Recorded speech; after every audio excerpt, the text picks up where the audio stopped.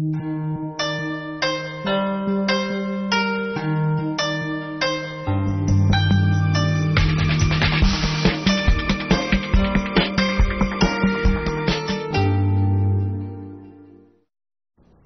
好，观众朋友，欢迎收看《国宝档案》。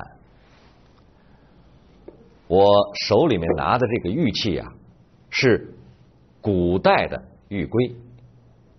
别看玉龟的外形和上面的图案呢都不怎么起眼，在明代，玉龟啊可是皇家的御用品，是皇帝祭天的时候呢用的礼器。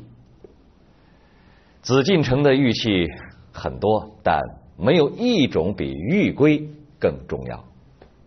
今天呢，我们来说一说紫禁城里的明代玉龟。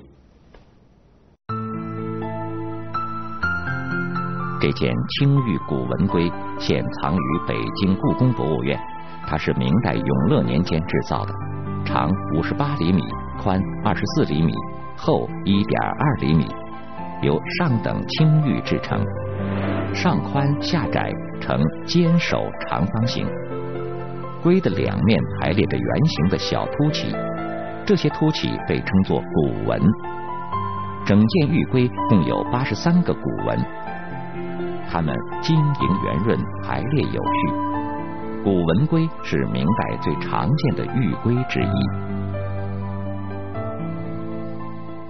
中国玉文化有七千多年的历史。自古以来呢，玉就被赋予了各种美好的象征。玉龟呢是最独特的玉器之一。在明代的时候啊，玉龟代表着至高无上的皇权，谁拥有了它，谁就能够君临天下。明成祖朱棣呢是明代的第三个皇帝，他是朱元璋的第四个儿子。朱棣起初啊。并不是皇位的法定继承人。他十岁时啊，被封为了燕王。朱元璋啊，把长孙朱允文立为储君，也就是皇位真正的继承人。朱棣后来决定篡夺皇位，其原因还与玉圭有关。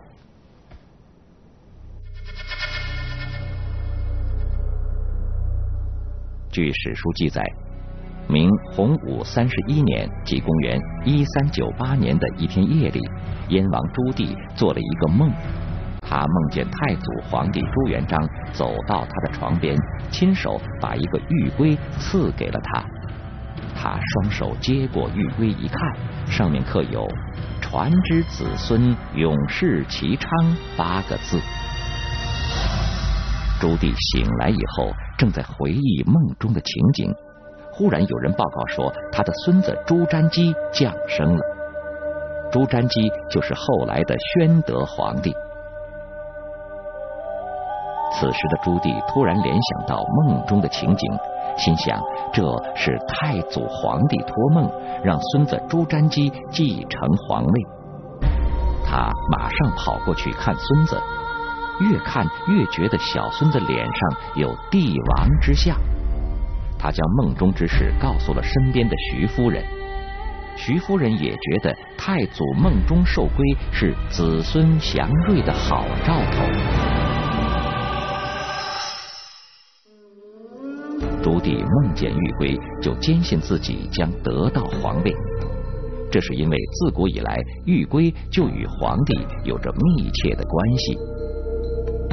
中国历代帝王都声称受有天命，得天命者得天下，所以皇帝十分重视上天的态度。与上天沟通的办法就是祭祀。上书中记载：“国之大事，在祀与戎。”意思是说，祭祀和军事并列为国家的头等大事。祭祀使用的工具就是玉，因为古人相信万物有灵，认为玉是山川赋予的精华，具有沟通天地的灵性，所以古人用六种玉器分别祭祀天地四方。周礼中说：“以玉作六器，以礼天地四方；以苍璧礼天，以黄从礼地；以青玉礼东方，以赤章礼南方，以白虎礼西方，以玄黄礼北方。”这六种玉器分别为璧、从、圭、章、黄、虎。其中，玉圭专门用来祭祀东方之神。在古代天文学文献中有这样的记载：每年初春的黄昏，遥望东方天空，可以看到守卫天宫的二十八颗星宿。古人将这二十八颗星宿用一条线连起来，就组成一条在空中腾飞的巨龙。古人称之为东方苍龙，它既代表东方，又是东方之神。玉圭就是专门祭祀东方之神的礼器。那么玉圭的使用呢？我们是主要的呢，还是从实物中？就是说，从这个呃发现的古代玉器实物中看到呢，在新石器时代开始，一直到商周时期，那么玉器中呢，这个龟形的玉龟龟形的这样的玉玉器呢，就片状的，一一端是尖的，这样的玉呢，我们管它叫龟，就这样的玉呢，就很多。在大型的祭祀或者礼仪场合中，把龟呢作为一个方向，向一个方向礼，所谓礼礼东方，就向东方行礼的时候来用，就这样一个有这样的一个记载。自古以来，玉圭就是帝王祭天用的礼器，在人们心目中，它逐渐演化成皇权的象征。在信奉君权神授的封建帝王时代。谁拿到玉圭，谁就是上天任命的君主。燕王朱棣梦见父亲朱元璋赐玉圭，这表明他内心是十分的渴望当皇帝。这个梦不但给朱棣夺取皇位提供了理由，而且为他的行动披上了一层合法的外衣。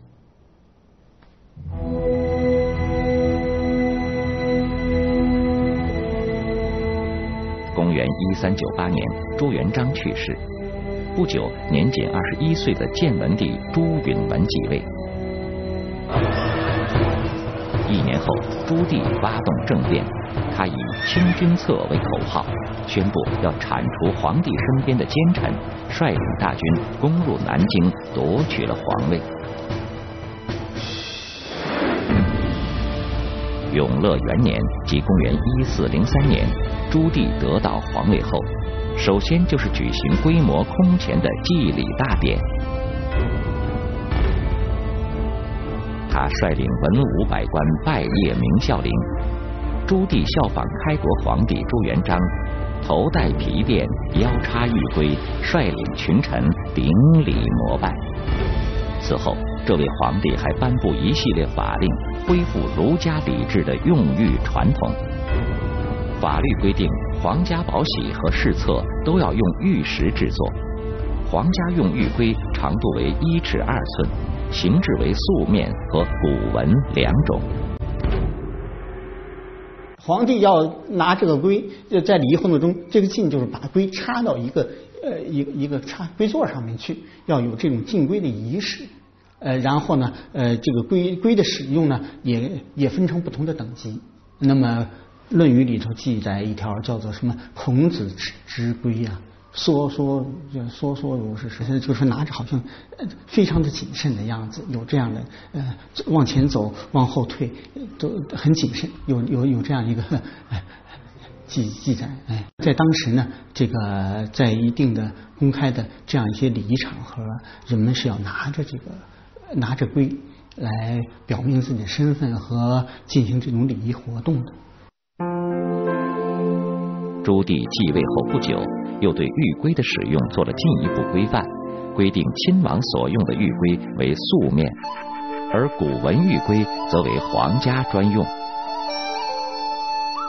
这一时期，朱棣还做了一个重大的决定，就是迁都到北京。他修建了紫禁城、天坛、地坛、先龙坛。天坛建成后，朱棣亲自组织了最隆重的祭天仪式。直到今天，天坛仍然是世界上最高的祭天建筑。明成祖朱棣把中国古老的祭天文化推向了高峰，也把玉归天授君权的含义呢发挥到了极致。在中国古代啊，玉圭除了祭天以外，还有别的用途。早在西周时期，周天子为便于统治，命令诸侯定期要来朝见。为了区别诸侯等级的高低呀。天子赐给每个人一个玉圭，根据尺寸的不同，表明他们各自的身份地位。西周时，玉圭按不同尺寸分为镇圭、环圭、信圭、公圭等，代表不同的地位等级。圭除了这种功能以外，还有充当天子令牌的作用。比如，皇帝要召唤守疆的大臣回朝时，负责传达命令的人必须手持玉圭作为凭证。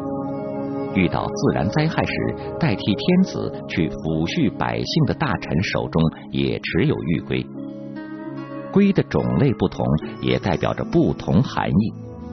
晚圭代表嘉奖，眼圭代表处罚，古圭则表示持有者。有行使和解或婚娶的权利。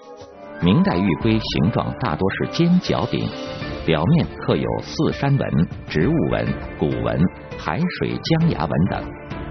这个明代青玉古文龟两面都装饰有古纹，体现出明代玉龟琢磨精细、质地优良的特点。这件清代玉龟配有紫檀木座。木座顶部雕有海水江崖，下面刻夔龙纹，玉圭上则刻有古代的十二张图案，现藏于北京故宫博物院。中国的玉文化源远流长，玉圭作为古代重要的礼器啊，蕴含了中国人天人合一的理念，它既是帝王与上天沟通的重要工具。同时，也见证了中国礼仪之邦的发展历史。好，感谢您和我一起穿越历史，感受国宝，分享文明。我们下期同一时间再见。